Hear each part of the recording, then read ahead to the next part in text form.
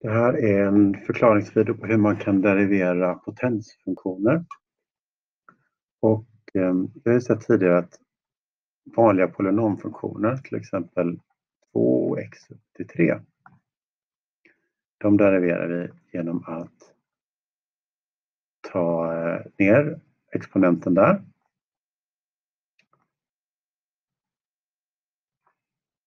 Så trean åker ner och då får vi då att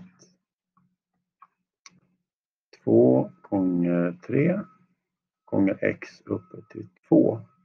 Så det blir en mindre i exponenten. Alltså det här blir 6 gånger x uppe till 2. Då kan man fråga sig, vad händer om det som står uppe i exponenten, alltså det här, om inte det är ett heltal? Vad gör vi då?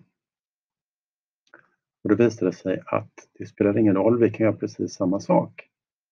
Säg om det står x uppe till 0,5 här. Och vi ska derivera. Då händer samma sak som här. Den här tvåan, eller en, en, en halv, åker ner. Så vi får 2 gånger 0,5 x uppe till, och sen ska vi ta minus 1. Så det här kommer alltså bli då 2 gånger en halv, det blir 1. Och så får vi x uppe till en halv minus 1, det blir minus en halv. Så då får vi det som derivaten istället. Så det spelar alltså ingen roll vad som, om det står ett heltal eller ett reellt tal. Vilket tal som helst här uppe. Regeln gäller fortfarande. Vi plockar ner det som står och sen så tar vi minus 1. Skulle det kunna vara så att ibland att man börjar med något annat uttryck eller att det ser på ett annorlunda sätt ut. Låt oss säga att det står så här. y är lika med 1 genom x kvadrat.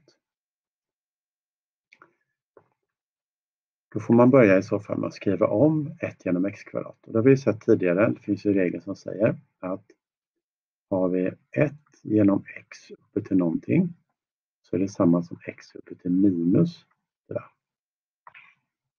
Så i det här fallet så skulle det betyda att det här är samma som x upphöjt till minus 2. Men när vi väl har kommit så långt då kan vi derivera med den här regeln som vi hade. Plockar vi alltså ner det som står där uppe så får vi minus 2 framför och så får vi x upp till minus 3. Om man nu vill så kan man skriva om det här i ett steg till. För x uppe till minus 3 det är ju samma som 1 genom x uppe till 3.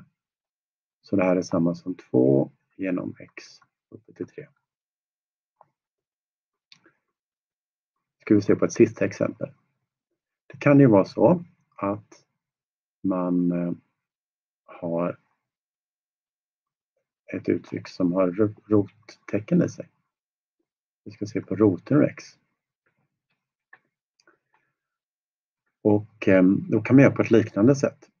För roten ur x det är samma som x upp till en halv. Och då kan vi derivera igen på samma sätt. Alltså vi plockar ner en halv framför 0,5 och så får vi x uppe till minus 0,5 som derivata. Om man vill kan man ta det här och skriva om det ytterligare ett steg. För då är det ju x upp till minus 0,5, det är samma som 1 genom x uppe till 0,5. Och x uppe till 0,5 här nere, det är samma som roten x. Så det är alltså samma som 0,5 gånger 1 genom roten ur x. Roten x ska det vara, inte 2. Sådär. Så, så kan man alltså göra när man deriverar en potensfunktion.